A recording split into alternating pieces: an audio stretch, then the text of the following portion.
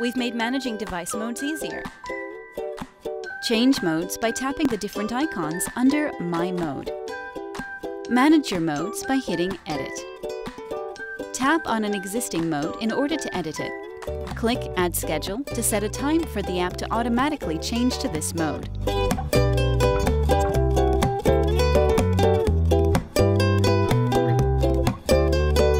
In Mode Settings, you can also add a new mode by hitting Add New Mode. Name your mode, and then tap your devices to set their desired behavior in this mode. Press Save to save your new mode. In Mode Settings, hit the icon in the upper right corner to rearrange the order of your modes.